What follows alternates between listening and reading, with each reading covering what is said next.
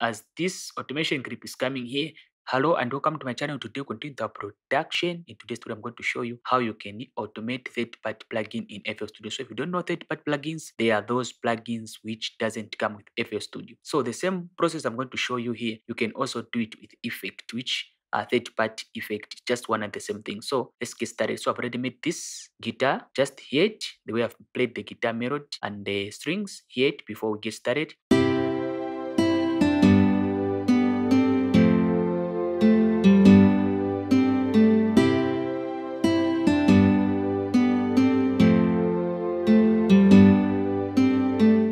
Okay, so that's a guitar. So what I want to do, I want to automate this guitar from Nexus, this one. So the knob I want to automate is this one, which is the spread. So this one, it will make your guitar to sound bouncing left and right. So I want to automate this. So what I want to do, I want this guitar to be played centered the way it was playing, the way you have heard it. Then on the other bar, I want it to be bouncing left, right. Here, I'm going to drag this knob up to, you can read from down here, I'll put it at 41%, I'll put it at 41%. So what I'm going to do here, I'm going to open this one, which is then view browser slash plugin picker. So I'm going to click here so that you can see what will happen here. I'm going to come here. Then from here, I'll click here where it is then plugin options. I'll click here. So just observe what will happen this side here. So here, I'm going to click on browse parameter or browse parameters. So when I click here, it is going to open this in FL Studio. So when I click here, just check what will happen. You're going to understand when it opens this site.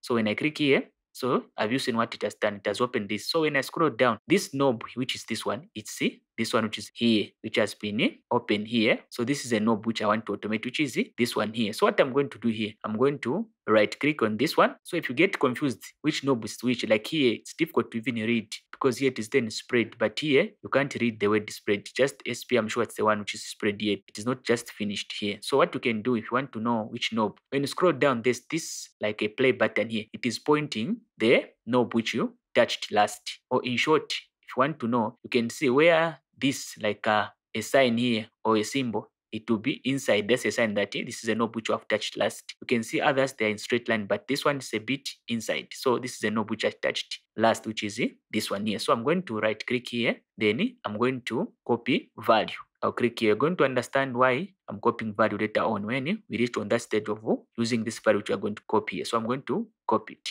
After doing that, let me just close this so that you can see automation clip appearing here. So I'm going to right click again, then eh, I'll go to create automation clip. So just check here on the playlist, you're going to see that automation clip will appear. So if I click on create automation clip, have you seen that there's automation clip which eh, has been created here with the name of this guitar? Let me just cross this then extend this so that you're able to see it properly. So with this guitar here, it is already playing spread because I've already put it on spread here. So what I want to do, this bars from here to here, I want it to be just playing centered. So what I'm going to do, I'll just click here, then I'll click here, then I'm going to drag this all the way down. I'll come here, I'll drag it all the way down. If you want, you can make your automation clip to just start there and then. If you want, you can make it to be fading in. So what I mean, you're going to understand it when eh, I'm showing you what it is going to be doing eh, when I've done some settings with the automation clip here. So as you can see, eh, I've you seen that this knob is down here because of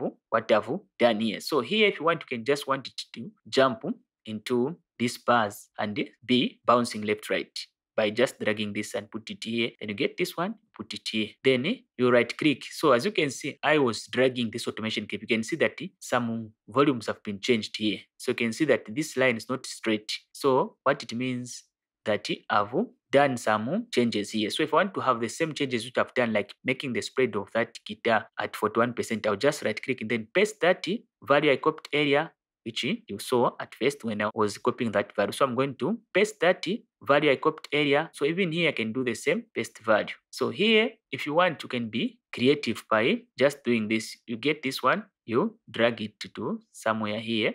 Then you get this one, drag it back here. Then right click, paste value. Then here, same thing, right click, paste value. So then here, you can bring it a bit down so that it's like a curve so that as this automation clip is coming here, it won't just jump, but it will fade in smoothly so that it is giving me that good transition. So just check what will happen to this knob as this automation clip has been put here. Just check what will happen. Let me just open Nexus again, close this one. So I'll just put it in, let me put this one down here. So just check what will happen to this spread pattern here as the guitar will be playing